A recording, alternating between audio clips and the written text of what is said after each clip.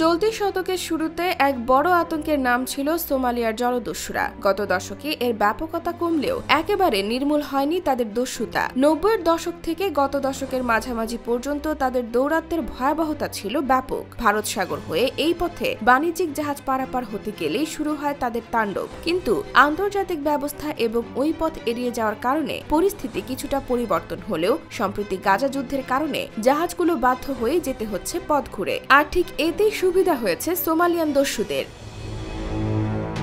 Israeli সামরিক বাহিনীর গাজা আগ্রাসনের কারণে লোহিত সাগর ও তার আশেপাশের সামুদ্রিক এলাকায় ইয়েমেনের শিয়া মতাবলম্বী হুতি বিদ্রোহীদের হামলা বেড়েছে, যার ফলে সৃষ্টি হয়েছে পণ্য বাণিজ্যে প্রতিবন্ধকতা। এ পরিস্থিতিতে দস্যুদের তৎপরতা তৈরি করেছে নতুন সংকটের। এছাড়া গাজা যুদ্ধের জেরে গত নভেম্বরের পর বিশটিরও বেশি জাহাজে দস্যুতার চেষ্টা চালিয়েছে সোমালিয়ান জলদস্যুরা। ফলে অস্ত্রধারী রক্ষীদের নিয়োগ করতে গিয়ে বেড়েছে ব্যয়, বিমা কভারেজ একই সাথে জোরালো হয়েছে মুক্তিপণের ভীতিও। এদিকে সোমালিয়ার জলদস্যুদের দুই সদস্য আন্তর্জাতিক গণমাধ্যমের কাছে স্বীকার করেছে, হুতিদের হামলা তাদের জন্য আশীর্বাদ হয়ে এসেছে। ওইসব হামলার কারণে আন্তর্জাতিক জাহাজ যোগাযোগের যে বিশৃঙ্খল অবস্থা, তার সুযোগ নিয়ে এক দশক পর ফিরে এসেছে দস্যুতার প্রেক্ষাপট।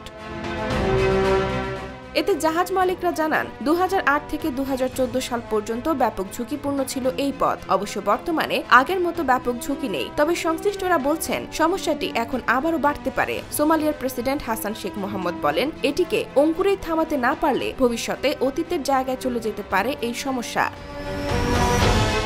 IBTV USA New York.